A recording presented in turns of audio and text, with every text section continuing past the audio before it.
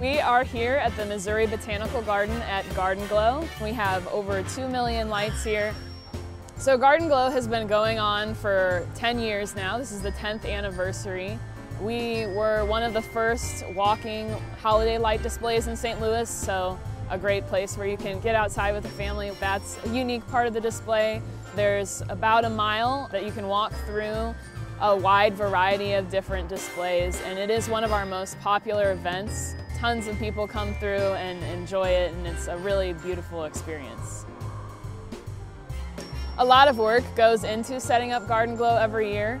There are over 2 million lights here at Garden Glow and it's actually a very small team that puts it up. It's mainly our events team and a handful of volunteers, which is about six people. It does seem like it sort of goes up very quickly, but in reality, they start in August. They work really hard to put on a great event for everybody this year, so definitely check it out. You'll see some old favorites and traditions, but there are two big new things this year. There is the central axis, which is the area in front of the Climatron. There's a brand new beautiful show there with lights over the reflecting pools where the water lilies are in the summertime. But it creates this beautiful effect where it looks like there are way more lights than there are. And then for those who've been to Garden Glow in recent years, there's a projection show on Tower Grove House, but this year it's a brand new show on the house as well. So if you enjoy that, definitely check that out. This year you're bound to see some returning favorites like the Frosted Forest where we have real cut Christmas trees that have holiday lights on them with the big blue large tree in the background there. That's a favorite.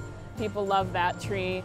Another example of a returning favorite is um, the lily or tulip-like lights that are in the rose garden this year. Those are kind of a nice way to remind people where we're at in the botanical garden and all your tickets do support the garden's mission too, which is conserving plants, bringing them to people to enjoy in the public and learn about those. So it's a great way to kind of bring that into the experience. Garden Glow continues now through January 7th, so you have the whole holiday season to come check it out. So if you're interested, you can find tickets and all the information you need at mobot.org slash glow. And we hope you'll come see us.